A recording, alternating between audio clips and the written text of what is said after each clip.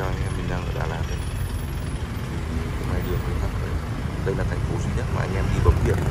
Chắc không sợ không sợ đuôi 49 bởi vì đầu đã là 49 rồi. Ở đây có khi bấm được uh, ít 49 lại là thành số đẹp. À, rất là đông người nhưng mình cũng không để ý uh, người đường số lắm. Trước giờ thì chỉ hay mua xe với tỉnh Bắc với cả Sài Gòn là cùng.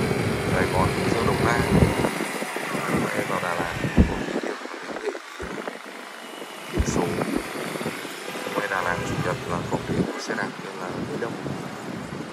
Ở trong này mình thấy mọi người ờ, đặc biệt là xe taxi kiểu hay sơn màu khá là sắc sỡ. Trong này mọi người đi xe mới nhiều. Bán tải thì thấy Ford Ranger Ford Ranger cũng khá là nhiều luôn.